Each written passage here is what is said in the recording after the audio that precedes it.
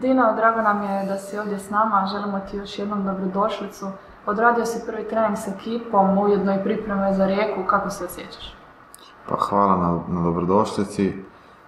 Ha, osjećaj malo je čudan zato što nakon šest godina se vraćam praktički kući, tako da ono, malo, su, malo sam još pod emocijama, ali sam u svakom slučaju sretan što sam ovdje i što mogu biti ponovo u Hrvatskoj. Prije šest godina si napustio Slaven Belupo, sada se vraćaš u Goricu. Kako ti vidiš ligu od tada, koliko si promijenila?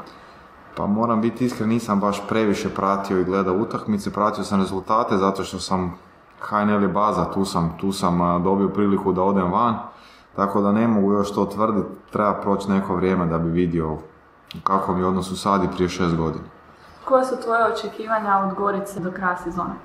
Ostanak u ligi, jedino Neko bi možda rekao da je to nemoguće kad pogleda na tablicu, ali jedino što želim i što sam, što sam siguran da ćemo ostati u ligi.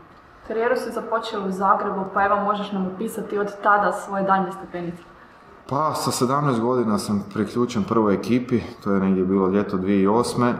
Potom sam išao na posudbe u Vrapće i Lučko po, po šest mjeseci i onda je krenuo moj put u Zagrebu do neke 24. 23. 24. godine. Nakon toga sam bio u Slaven Belupu, Slovenija, Poljska, Izrael i eto me tu nazad.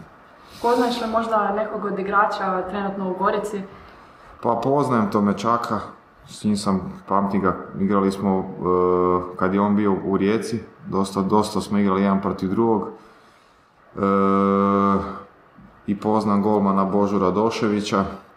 I to je to sad ovako na prvu, dosta je mlada ekipa, treba još to sve pohvatiti. Jesi se možda čuo s njima i se kontaktirao prije dolaska? Nisam, nisam, zato što se sve brzo odvilo i onako nije baš bilo planirano povratak u Hrvatsku, ali eto, nogomet piše čudne priče. Nadam se da će ovo biti pozitivno.